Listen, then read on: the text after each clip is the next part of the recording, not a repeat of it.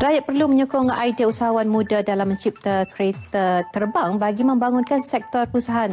Jadi uh, Menteri Pembangunan Usahawan MED Datuk Seri Rizwan Yusof menjelaskan cadangan membangunkan kereta terbang itu bukannya daripada menteri tetapi merupakan maklum balas daripada golongan muda. Datuk Seri Rizwan juga menyatakan inisiatif mewujudkan kereta terbang itu bagi memastikan Malaysia seiring dengan negara-negara maju yang menggunakan teknologi tersebut.